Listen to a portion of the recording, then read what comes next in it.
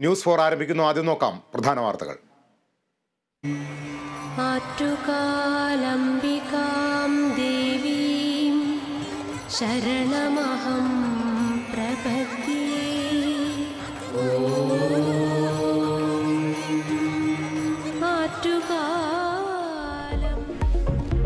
അനന്തപുരിയെ യാഗശാലയാക്കി ആറ്റുകാൽ പൊങ്കാല. പൊങ്കാല പുണ്യം നുകർന്ന് ഭക്തലക്ഷങ്ങൾ മടങ്ങുന്നു. മടക്കയാത്രയ്ക്കായി വിപുലമായ ക്രമീകരണങ്ങൾ. നഗരം ശുചീകരിക്കാൻ കർമ്മസേനാംഗങ്ങൾ. മുസ്ലിം ലീഗിന് മൂന്നാം സീറ്റില്ലെന്ന് കോൺഗ്രസ്. രാജ്യസഭാ സീറ്റ് നൽകാമെന്ന് അറിയിച്ചതായി കെ സുധാകരൻ. അന്തിമ തീരുമാനം ഇരുപത്തിയേഴിന് ചേരുന്ന നേതൃയോഗത്തിന് ശേഷമെന്ന് ലീഗ്. ചർച്ച തൃപ്തികരമെന്ന് പി കെ കുഞ്ഞാലിക്കുട്ടി. ലീഗിന് ആറ് സീറ്റിന് വരെ അർഹതയുണ്ടെന്ന് സമസ്ത.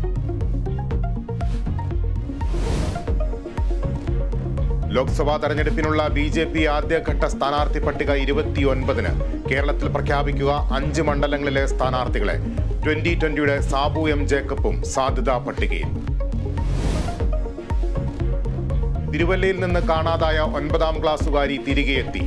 കുട്ടി തിരുവല്ല പോലീസ് സ്റ്റേഷനിൽ ഹാജരായി. പെൺകുട്ടിയെ കടത്തിക്കൊണ്ടുപോയ സംഭവത്തിൽ മൂന്ന് പേർ പിടിയിൽ.